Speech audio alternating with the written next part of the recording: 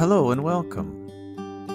We've been exploring the concept of dimensions and moving from two-dimensional objects that we see on a plane to three-dimensional objects that form solids.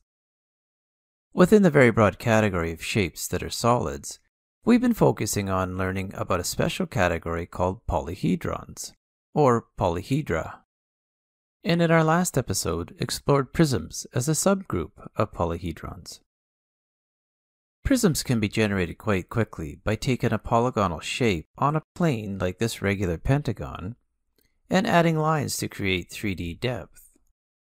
You have likely noticed that the lines don't always need to be added going backward.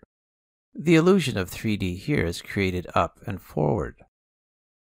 Because the lines are parallel, the second end or base is the exact same shape. Parallelograms result when the corresponding vertices are connected. A to K, B to L, etc. These form the faces of a prism to complete our 3D object. There are as many faces as there are edges on the base. This is a regular, right, pentagonal prism. In this video, we'll extend our understanding of polyhedrons to include another category of familiar solids called pyramids. Pyramids you're likely familiar with are dramatic examples of this type of polyhedron. Just like prisms, they are solids with many flat surfaces. What differentiates pyramids from prisms is that they only have one base. This means that the vertices of the base all come to a single point, the tip or apex. Apex is a commonly used word for mountain peak.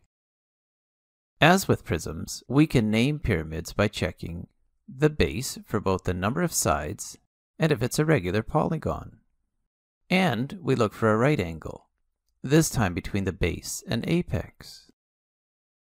So, once again, we can start with any polygon, and from the base's vertices start extending lines, but this time only to a point. Because all lines converge to the apex, the sides of a pyramid always form triangles. So what are some of the things we should watch for when we're investigating pyramid shapes? A regular polygon base with the apex above the center point, as seen here with the blue vertical line, makes all the faces the same isosceles triangle.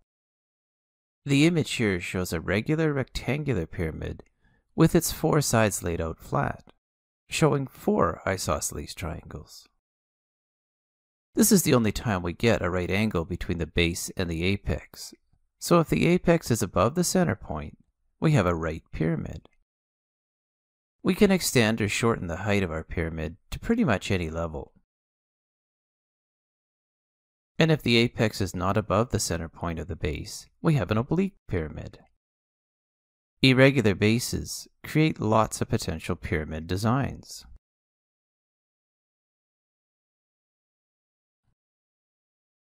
We've been trying to get comfortable with some three-dimensional solid shapes that fall under the category of polyhedrons.